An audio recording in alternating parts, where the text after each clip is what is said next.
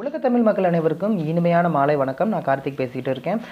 கொஞ்ச நேரத்துக்கு முன்னாடி நம்ம நேரலையில் தெளிவாக ஒரு விஷயம் சொல்லியிருந்தோம். என்ன அப்படின்னு பார்த்தீங்கன்னா so TNPSC group two and two ஏக்கான syllabus மாற்றத்திற்கான பதிவு வந்து கேட்டிருந்தாங்க டிஎன்பிசி சார்பில். அதாவது நம்மளுடைய கருத்து கேட்பதற்காக.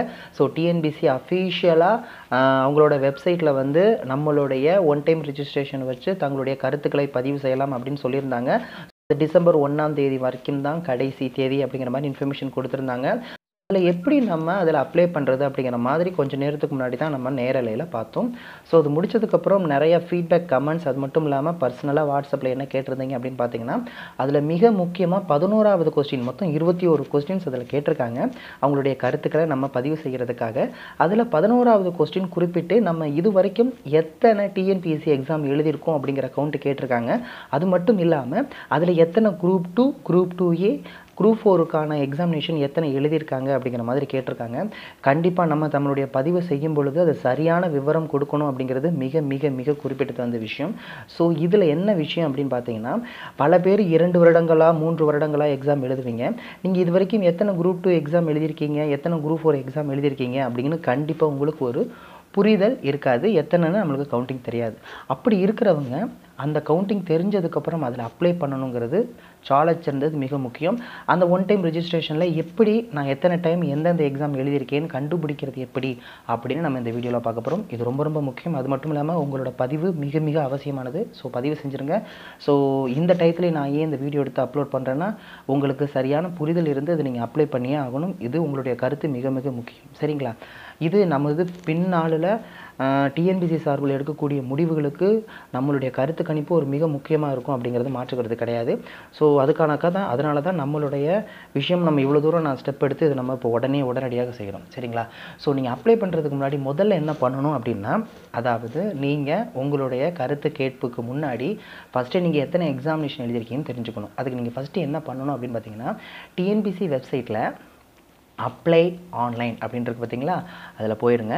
ஸோ ஒரு புது பேஜ் ஓப்பன் ஆகும். சரி ஓகே இதில் ஃபஸ்ட் எடுத்தோடனே அதில் பாருங்கள் தொகுதி இரண்டு அண்டு இரண்டு தேர்வு வினாப்பட்டியல் நிரந்தர பதிவு விவரங்கள் இருக்குது பார்த்தீங்களா? அதை கிளிக் பண்ணுங்கள் அதில் கிளிக் பண்ணிங்கன்னா புதிய பதிவு செய்ய விளைவோர் இல்லை ஏற்கனவே பதிவு செய்தோர். இதில் வந்து ஏற்கனவே பதிவு செய்தோரை இது பண்ணுங்கள் இப்போ இதில் நீங்கள் உங்களுடைய அதாவது உங்களுடைய அட்ரஸை நீங்கள் கொடுக்கணும். சரி புரியுதுங்களா? ஒன் டைம் அங்கே என்ன கொடுக்குறோமோ அதுதான். ஸோ நான் கொடுக்குறேன். அதே நேரத்தில் கரெக்டாக பாஸ்வேர்டு அறிங்க அப்போ தான் ஓப்பன் ஆகும். சரியா? ஸோ இது வந்து நீங்கள் நினைவில் கொள்கைன்னா நீங்கள் டிக் பண்ணால் அதே சிஸ்டமாக இருந்தால் அதை டிக் பண்ணிக்கங்க. இல்லைனா தேவை கிடையாது. சரிங்களா? ஸோ இதை ஆட் பண்ண என்ன வரும்? இருபத்தி மூணு. இதை கரெக்டாக பண்ணிவிட்டு சப்மிட் கொடுங்க. ஆட்டோமேட்டிக்காக உள்ளே போயிடும் ஸோ இப்போ போனதுக்கப்புறம் என்ன பண்ணணும் அப்படின்னா ப்ரொஃபைல் இருக்குது கரண்ட் அப்ளிகேஷன் இருக்குது எடிட் ப்ரொஃபைல் இருக்குது அப்ளிகேஷன் ஹிஸ்ட்ரி இருக்குது இந்த அப்ளிகேஷன் ஹிஸ்ட்ரியை கிளிக் பண்ணுங்கள் இப்போ நான் ஓப்பன் பண்ண கேண்டிடேட் அதாவது இவர் வந்து ஒரே ஒரு எக்ஸாம் தான் எழுதியிருக்காரு. ஸோ இதில் உங்களுக்கு தெளிவாக என்ன தெரியுது அப்படின்னா குரூப் ஃபோர் ஒன் டைம் எழுதியிருக்காங்க. ஸோ இது வரைக்கும் நீங்கள் ரெண்டு வருஷமாக எழுதினாலும் மூணு வருஷமாக எழுதினாலும் இல்லை ஒரு வருஷமாக எழுதினாலும் இல்லை இப்போ தான் அப்ளை பண்ணியிருக்கீங்களானாலும் இதில் டீட்டெயில் தெரிஞ்சிடும். இதை ஒரு நோட்டில் எழுதி வச்சுக்கோங்க. என்ன எழுதலாம் so group four one time இவர் எழுதியிருக்காரு. இதுவே குரூப் டூவாக இருந்தால் குரூப் டூ எத்தனைன்னு கவுண்ட் பண்ணிக்கோங்க. பெரிய லிஸ்ட்டாக வருங்க. நீங்கள் ஒரு வருஷம் எழுதிட்டீங்கன்னா பெரிய லிஸ்ட்டாக வரும். குரூப் ஃபோர் எத்தனை எழுதியிருக்கீங்க? குரூப் டூ எத்தனை எழுதியிருக்கீங்க? குரூப் டூ எத்தனை எழுதியிருக்கேன்னு முதல்ல அதை நோட் பண்ணிக்கோங்க. நோட் பண்ணதுக்கு அப்புறம் இதை நீங்கள் லாக் அவுட் பண்ணிக்கோங்க. ஸோ லாக் அவுட் பண்ணதுக்கு அப்புறம் என்ன பண்ணலாம் அப்படின்னா நான் பேக் டு என்ன சொன்னேன்? டிஎன்பிசி வெப்சைட்டில் கீழே போனீங்கன்னா ஸ்க்ரோலிங்கில் வரும். ஸோ நேரலையில் இதை நான் கிளியராக சொல்லியிருந்தேன். லிங்க்கும் நான் இந்த வீடியோவுக்கு கீழே நான் லிங்க் கொடுத்துட்றேன். தயவு செஞ்சு ஓப்பன் பண்ணி அதில் நீங்கள் உங்களுடைய பதிவை தயவு செஞ்சு செஞ்சுருங்க. சரிங்களா? இதில் லீ இதில் வந்தீங்கன்னா கரெக்டாக உங்களுக்கு கொஞ்சம் நேரம் கழிச்சு இதில் வந்துருந்தா பாருங்கள் group two two BA so question அப்படிங்கிற மாதிரி சொல்லியிருக்காங்க. இதில் உங்கள் டீட்டெயிலை கொடுங்க. நான் ஏற்கனவே உங்களுக்கு நான் கொடுத்ததுனால ஒரு டைம் பண்ணால் தான் வரும். ரெண்டாவது டைம் பண்ணுறப்ப யுவர் சர்வே இஸ் கம்ப்ளீட்டட்னு வரும். சரிங்களா? அதில் கொஸ்டின்ஸ் என்னென்ன கேட்டிருக்காங்கன்னு நான் அதில் கூட எடுத்து வச்சுருக்கிறேன். ஸோ வரிசையாக உங்களுக்கு நான் சொல்லிடுறேன். பொறுமையாக பாருங்கள் ஸோ ஃபஸ்ட்டு கொஸ்டின் நீங்கள் எந்த பகுதியை சேர்ந்தவர்? கிராமப்புறமா நகரப்புறமா? சொல்லிடலாம். அடுத்து தங்களது கல்வி தகுதி. இப்போ என்ன வரைக்கும் படிச்சிருக்கீங்க? டென்த்து டுவெல்த்து பட்டப்படிப்பு முதுகலை படிப்பு. யூஜியாக இருந்தால் பட்டப்படிப்போடு விட்டுருங்க. பிஜியாக இருந்தால் ரெண்டையும் டிக் பண்ணிடுங்க அடுத்த கொஸ்டின் ஸோ தங்களது இளங்கலை பட்டத்தின் வகை என்ன? ஆர்ட்ஸ் அண்ட் சயின்ஸா இல்லை ப்ரொஃபஷனல் டிகிரியா இல்லை மற்றவையா? அதுவும் டிக் பண்ணிடுங்க அடுத்து பத்தாம் வகுப்பினை எந்த பாடத்திட்டத்தில் படித்துள்ளீர்கள்? ஸ்டேட் போர்டா சென்ட்ரல் போர்டா இல்லை மற்றதா அதுவும் டிக் பண்ணிடலாம் பன்னிரெண்டாம் வகுப்பினை எந்த பாடத்திட்டத்தில் படித்துள்ளீர்கள்? ஸோ ஸ்டேட் போர்டா சென்ட்ரல் போர்டா மற்றவையா? இதுவும் சொல்லிடலாம் ஸோ பத்தாம் வகுப்பு பன்னிரெண்டாம் வகுப்பு மற்றும் யூஜி இந்த மூணில் ஏதாவது ஒன்றாவது தமிழ் படிச்சிருக்கீங்களா? அப்படின்னா எஸ் ஆர்னோ புரியுதுங்களா? ஸோ டென்த்தில் நீங்கள் தமிழ் படிச்சிருந்தாலும் இல்லை டுவெல்த்தில் தமிழ் படிச்சிருந்தாலும் இல்லை யூஜியில் தமிழ் வழியில் படிச்சிருந்தாலும் ஏதோ ஒரு தமிழ் படிச்சிங்கனாலே எக்ஸ் மேக்ஸிமம் இதில் எல்லாருக்குமே எஸ் தான் வரும். அதில் மாற்றுக்கிறது கிடையாது. அடுத்து பத்தாம் வகுப்பு பன்னிரெண்டாம் வகுப்பு பட்டப்படிப்பில் ஏதேனும் ஆங்கிலத்தை படித்திருக்கிறீங்களா? அப்படின்னு கொஸ்டின் கேட்டிருக்காங்க. மேக்ஸிமம் யூஜி பிஜி இங்கிலீஷ் கண்டிப்பாக படிச்சிருப்பீங்க.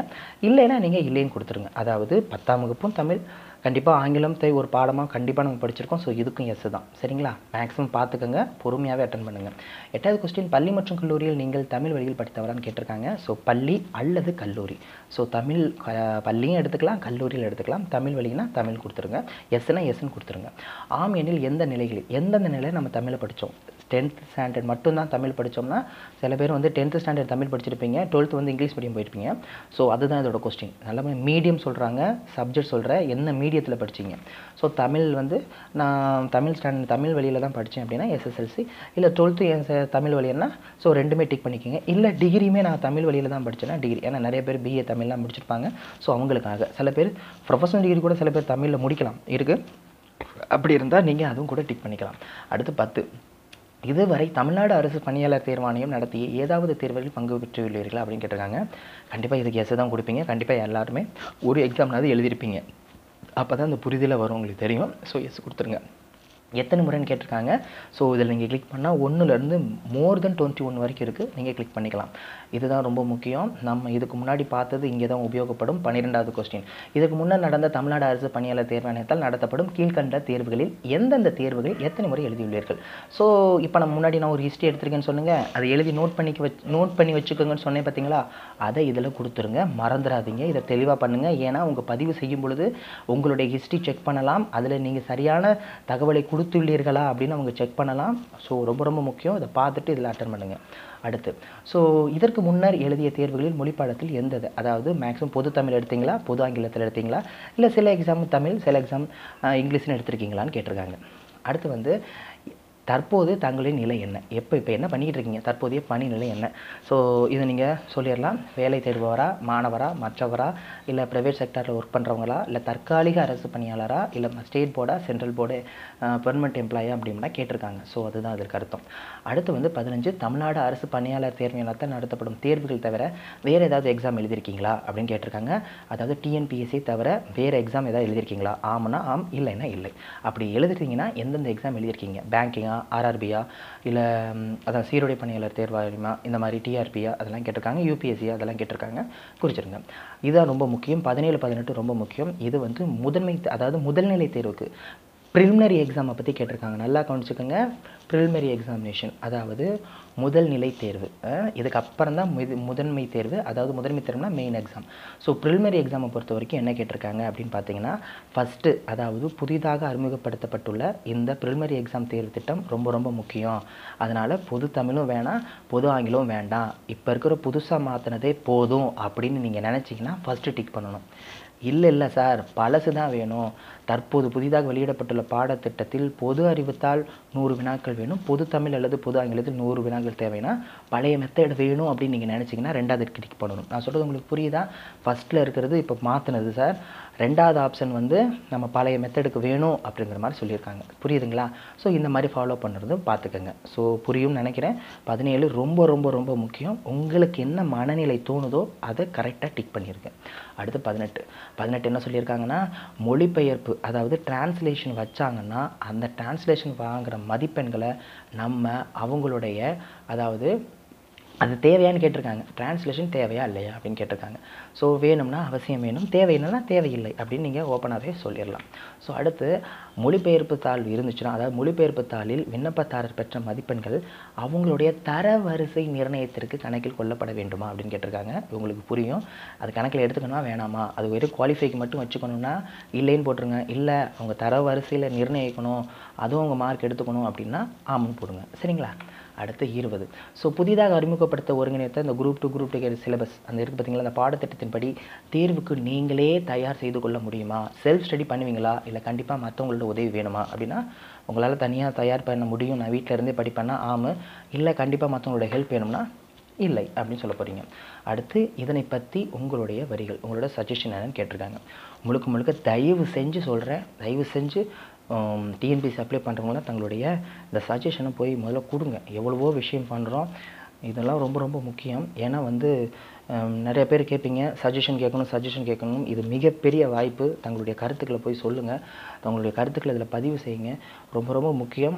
வாழ்க்கையில் வந்து இந்த மாதிரி இந்த மாதிரி ஒரு ஒரு சந்தர்ப்பங்கள் தான் நம்மளுடைய கருத்துக்களை வந்து கேட்குறதுக்கு வந்து ஒரு வாய்ப்புன்னு வச்சுக்கோங்க. ஸோ கண்டிப்பாக நீங்கள் என்ன நினைக்கிறீங்க அப்படிங்கிறத உங்கள் மனதளவு பட்டதில் எனக்கு இது இந்த தமிழ் வழியில் கற்றல் இந்த புதிய சிலபஸ் பாடத்திட்டம் என் நான் இப்படி நினைக்கிறேன் அப்படின்னு நீங்கள் தாராளமாக எழுதலாம். சரிங்களா? ஸோ உங்களுக்கு கண்டிப்பாக இது புரியும்னு நினைக்கிறேன்.